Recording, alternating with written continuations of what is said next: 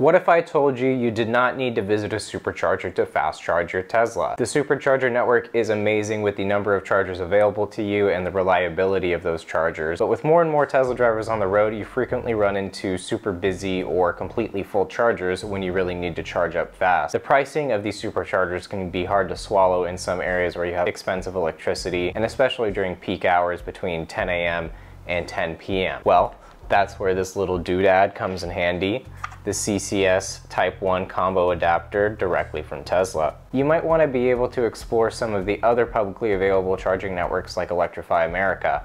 In some situations, if you could charge at one of these stations, you might save a little bit of money, or you might save a little bit of time in driving to use a charger closer to you than the nearest supercharger. But the issue is that Teslas shipped in North America just have that proprietary Tesla plug in the charge port. That's where this adapter comes in handy. It will convert the CCS Type 1 plug to a Tesla plug so that you can plug into any CCS Type 1 station you might want to use. This adapter was just recently released in the United States. There was previously a loophole where you could get your hands on one of these if you used a service to purchase it through the South Korean Tesla website and there were uh, some other aftermarket options available as well, but now you can get one of these straight from Tesla. This adapter is $250, which is a little pricey, but it does open up a lot more DC fast charging options for you than you would have previously had just having access to the supercharger network. On the product page of the website, it lets you know that this adapter will allow up to 250 kilowatts. That will be able to get you the maximum charging rate available to uh, say a Tesla Model 3 if you find a compatible charger. Electrify America has 350 kilowatt chargers, so in theory that should let you max out the charging for your Tesla. However, there is a little bit of a catch. Not all Teslas in the United States and Canada can use this quite yet, but don't worry if your car isn't compatible. Tesla will be offering a retrofit in 2023. You'll have to pay for that. It's not clear how much that will be, but if you really want this option, it should be available to you in the near future. Currently, to check and see if your car is compatible with the CCS adapter, you go into the software screen from the quick controls, and then you click the little option to get more information about your vehicle. And there in the little pop-up window, there should be a line item for CCS adapter compatibility, and it should say enabled if you're able to use the CCS Type 1 adapter with your Tesla. So I bet you're wondering how this little adapter works in practice, so I'm gonna get off my butt and go show you how that works. So I've made it to a CCS Type 1 charger. This is just an EVgo charger. It's only 50 kilowatts, so it won't really max out our charging speed here, but it'll be helpful for demonstration purposes. So I got my CCS Type 1 adapter, got my EVgo charge card. So what we're gonna do is hit start on the charger, plug this into the cable, and then plug it into the car. So I'm going to choose the option to swipe my RFID card. We're authorized. So now I take the cable, plug it into the adapter, then I plug it into the car. And you'll see that it's blinking blue to communicate. And when this turns green, then we'll have charging. Connecting to vehicle. A little bit more cumbersome than using a supercharger, but this will work still. And now it's green and we're charging. Cool, so that's how you plug in your Tesla to a CCS charger with this adapter. I wanna show you all how to unplug when you're done charging at one of these CCS chargers with your adapter, because it's a little bit different than when you're supercharging. So let's say I want to be done charging. I can't just press a button and pull out this whole thing like you would with a supercharger.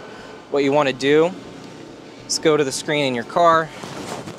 You're going to hit stop charging and then if it'll focus, unlock charge port. And now I can just come and grab this whole thing out of the car and then I take the adapter off the charger and put it back. So is this worth it?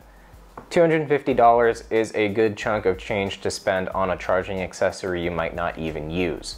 If you currently have home charging and you never really go on road trips that require DC fast charging, then you probably don't need this accessory unless you just really want it. This adapter could be worth it to you if you frequently visit locations where your destination is closer to a CCS charger than it would be to a supercharger. $250 might be worth it to you in that situation to not have to drive out of the way or worry about planning extra time to accomplish your charging. Another potential use case for getting this CCS adapter would be for people who have to DC fast charge on pretty much a daily basis for say their commute or their job, like if you're an Uber driver. Supercharging can add up pretty quickly if the electricity rates are expensive in your area. In my area, for example, supercharging costs 58 cents per kilowatt hour during peak hours compared to Electrify America where it's only 41 cents per kilowatt hour during peak hours. But even then, to sort of break even on this $250 adapter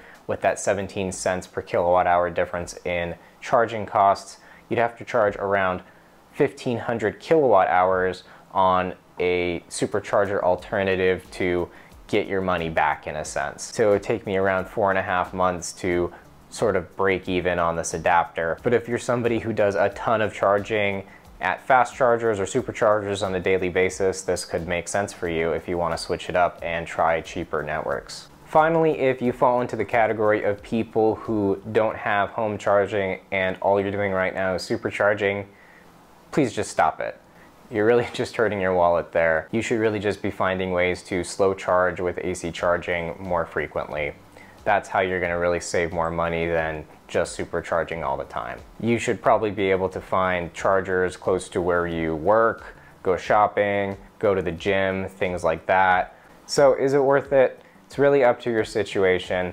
If you've got $250 burning a hole in your pocket and you really want all the charging options available to you, then go ahead and do it. I bought this for the demonstration purposes of this video, um, but I probably won't use it all that often and I probably won't get my money back in a sense from using this adapter instead of supercharging.